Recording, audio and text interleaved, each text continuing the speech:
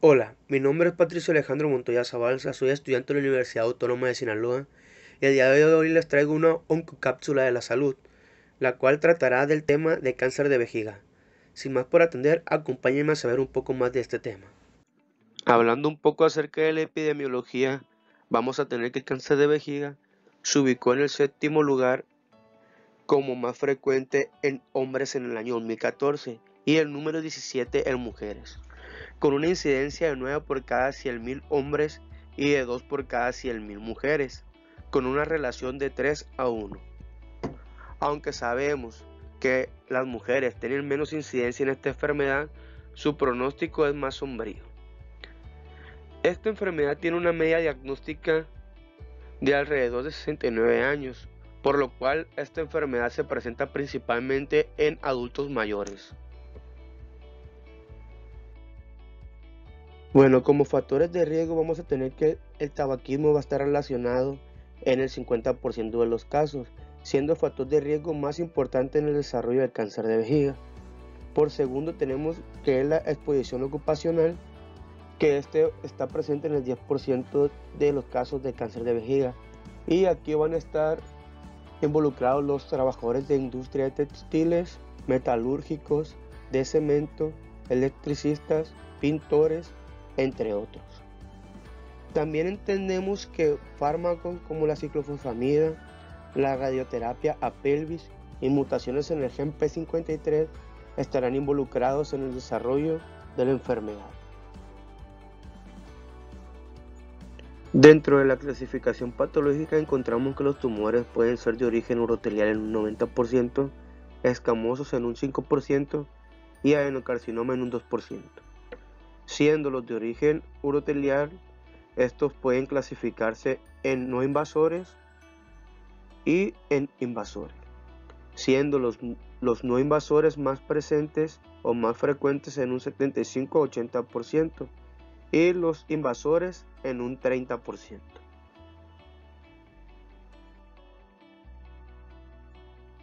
Morfológicamente podemos clasificar los tumores en tres tipos, papilar, sólidos y mixtos, siendo los de origen papilar más frecuentes en las enfermedades no musculoinvasivas.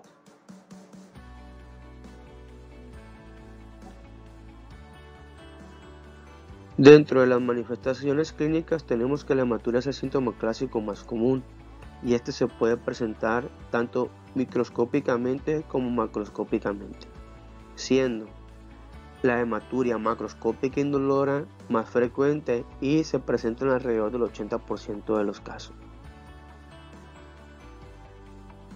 El diagnóstico de cáncer de vejiga en los tumores no musculoinvasores puede presentarse con síntomas de irritación urinaria, como es la disuria, poliacuria o urgencia, o también se puede presentar de una manera asintomática, es decir, que estos pacientes no van a presentar ningún síntoma de la enfermedad. El diagnóstico de esta enfermedad se va a basar principalmente en historia clínica, los factores de riesgo, síntomas, exploración física detallada y estudios de gabinete. Bueno, hablando acerca del ultrasonido, este es obligatorio en evaluación de la hematuria y esto nos va a ayudar para descartar lo que son los tumores de vejiga. Su éxito va a depender del tamaño y la localización de la neoplasia.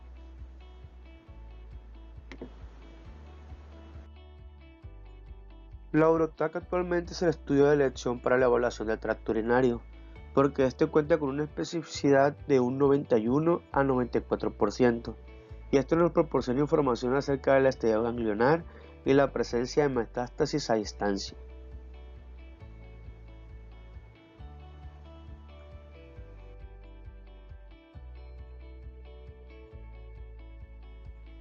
En la actualidad, la cistoscopía es el gol estándar para el diagnóstico y seguimiento del cáncer de vejiga.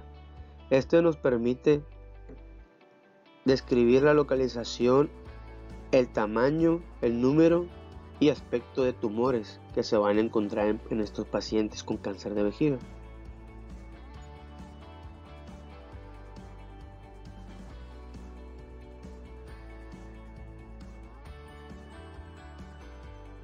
Planificación del cáncer de vejiga se basa en el sistema TNM, el cual consta de tres parámetros, los cuales son las características de la tumoración con la nomenclatura T, la presencia de nódulos linfáticos con la nomenclatura N y la metástasis con la nomenclatura M. Aquí tenemos una tabla de cómo esto se va a expresar o cómo lo vamos a encontrar, desde TX a T4B para, la para lo que es la característica de la tumoración, de, no, de la NX a la N3 para, para valorar lo que son la presencia o no de anulaciones linfáticas y, y la de, desde MX a M1 para lo que es la metástasis. Para poder llevar a cabo el tratamiento es importante establecer la tumoración, si es superficial o invasivo, ya que depende de este va a ser el tratamiento que se le va a proporcionar al paciente. El tratamiento para los tumores no musculoinvasores superficiales, aquí el tratamiento de elección va a ser la resección transuretral de vejiga. Este se debe realizar de manera completa y correcta, que incluye una parte del músculo para conocer la naturaleza del tumor.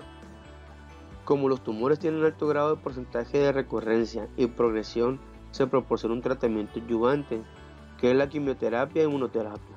La quimioterapia se basa en una dosis de mitomicina C o también en su caso puede ser espiruvicina intravesical posoperatoria en las primeras 6 horas. Para pacientes que presenten un alto riesgo de recurrencia o suelen presentar características como tumores de alto grado o tumores mayores a 3 centímetros o múltiples tumores, se recomienda la inmunoterapia transvesical como la, con el bacilo de Kalmen-Gering o BCG. Este se inicia de 2 a 4 semanas después de la recepción transuretral y se administra por 6 semanas seguidas. También podemos recurrir a la cistectomía radical, la cual está indicada en pacientes que tienen tumores múltiples de gran volumen y de una presencia histológica poco usual, o también en pacientes que tengan una vejiga no funcional.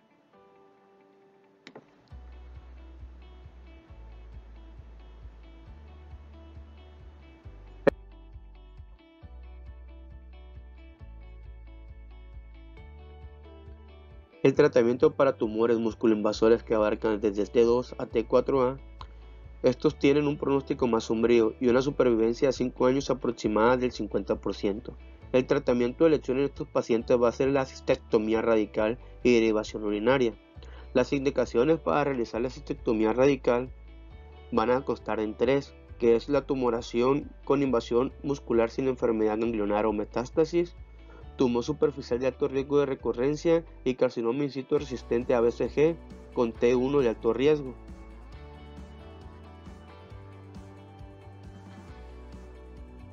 Al momento que se realiza una cistectomía radical y de derivación urinaria, en los hombres habrá una resección de vejiga, próstata, vesículas seminales, porción ampular de los conductos deferentes y ureteres distales y en las mujeres habrá una resección de la vejiga, uretra, útero, ovarios, tercio superior de la vagina y ureteres distales.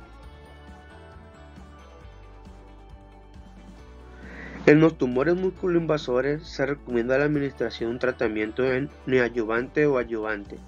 La quimioterapia en adyuvante está recomendada porque se observa un beneficio en la supervivencia global aumentada un 5%. Los esquemas más utilizados es el metrotexato, bimblastina, abrimacina y cisplatino, o la combinación de gemcitodina con cisplatina. Este tratamiento está reservado para pacientes que tienen un factor histológico de mal pronóstico o pacientes que no recibieron quimioterapia en ayudante. También podemos optar por un tratamiento trimodal, que este está indicado para pacientes que quieren conservar la vejiga o que no son candidatos a cistectomía radical, que esta va a consistir en una resección transuretral de vejiga más una radioterapia.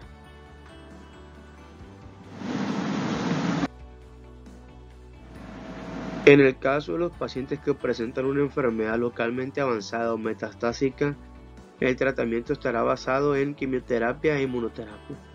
Ya que estos, estos pacientes no serán candidatos a tratamiento quirúrgico. Estos pacientes tienen solamente un 15% de sobrevida a 15 años. En el esquema de quimioterapia que presenta una mayor eficacia y una toxicidad más baja es la combinación de gemcitadina y cisplatino, teniendo en cuenta que estos tienen una media de supervivencia de alrededor de 15 meses. En el caso de la inmunoterapia tenemos un proceso llamado que es inmunoedición, que este consta de tres elementos, que es la eliminación, equilibrio y escape.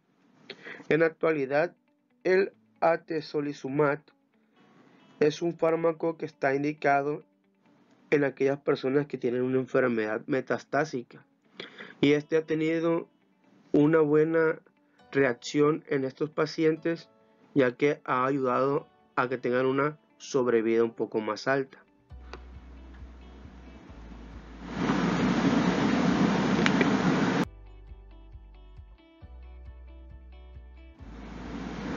El seguimiento de esta enfermedad estará basado en la citoscopía que se van a realizar periódicamente.